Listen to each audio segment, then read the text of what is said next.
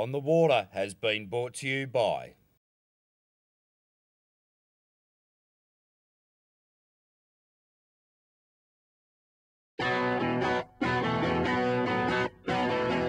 Here we are at the Southern 80, Australia's biggest water ski event. It is recognised throughout the world. We have competitors as far away as Britain, the US, Sweden, and of course our own local talent. We're at the historic port of Echuca, once Australia's largest inland trading port.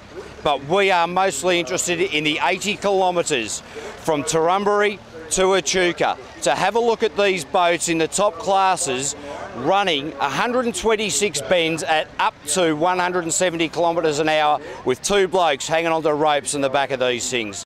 This is absolutely fantastic. The crowd of Echuca and the population swells to some 80,000 people during the course of this Southern 80 weekend. So strap on your life jacket and check this out.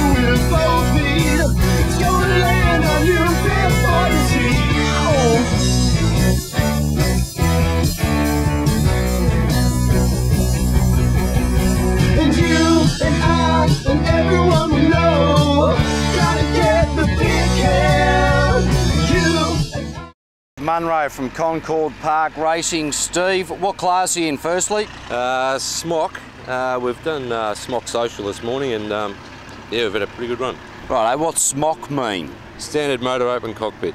Right, the open cockpit means you get plenty of breeze in there. She in the social classes. Breeze. Yes, plenty of breeze. There's not, um, yeah, no, she's nice, nicely breezed. Yes. Oh, beautiful, yeah. mate. In the social classes, mate. How how'd you go in the run anyway? Oh, look, we yeah, we come uh, middle of the pack. We're um, we're not out here to win it and we break records, break necks. We're uh, just out here to give the boys a good run and make sure they get their start and get to the finish line. No mishaps.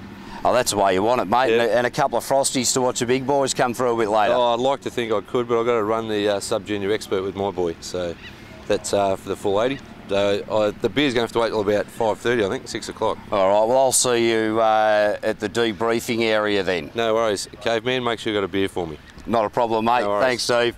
All the best. Uh, here we've got Kev, he's actually the observer from Gasser Racing Team. However, he has done a lot of skiing. Tell us a bit about the skis, Kev. Yeah, what these skis are, the boys use behind us, they're Maharaja skis. Um, they're seven foot long. As you can see, they're nearly two inches thick.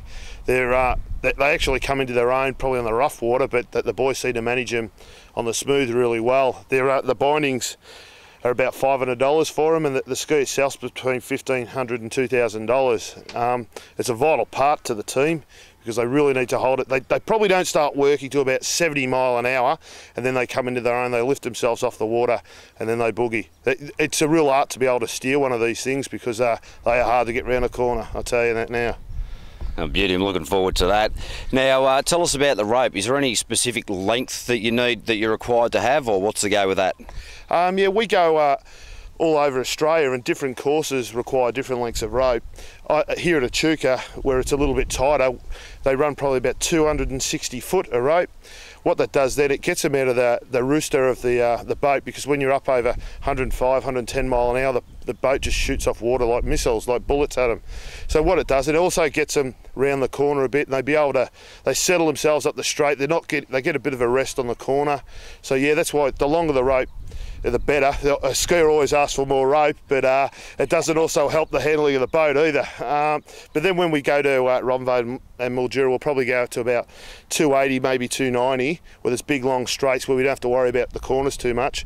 And um, yeah, that yeah they like it there. You know, the longer the better, they reckon.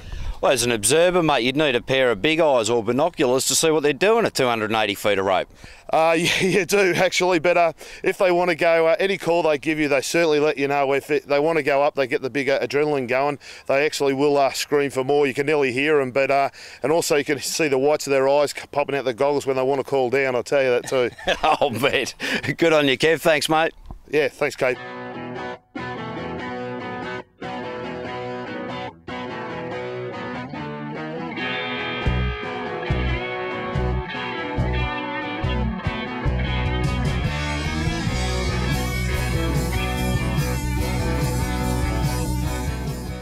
We are with Brett Dominks from the Blown Budget Ski Race Team. Brett's one of the skiers that hang on at some breakneck speeds. Mate, how's the boat going after the Baker's Blitz? Yeah, really nice, really nice. Need a couple more horses, but um, nothing we can't find in the boat, and we'll, you know, she'll come along all right in the end. Right, how's your preparation been up to this point? Um, we were sort of flying blind coming into this race. You know, we hadn't had the right preparation and all that sort of stuff. You know, we hadn't had a test out in the out on the real course. You know, it all it all shows itself out there. That's the real deal. Yeah. So you know, we, we learned a lot today. So we'll, we'll have a lot more in us tomorrow. Beauty. So where are you off? Uh, what position are you starting at tomorrow? I think we're starting off about seventh at this stage. Yep. A um, little bit of traffic in front of us, but nothing we can't contend with. And hopefully, you know, everyone has a nice clean race and we all get to post our best time. So you've got the computer blokes. I see the mechanics working in the background here, or they're actually just taken off now that we've got the microphone and the camera off, mate. They're out there. I don't blame them. in case something goes wrong tomorrow, who wants to get the blame? Yeah, especially when we've got it on camera, mate, on just video. to prove it. exactly. All right, mate. Good luck tomorrow, and uh, we'll see you at the end of it for a cold one. No, we certainly will. Thanks, Kate, man. on the Water has been brought to you by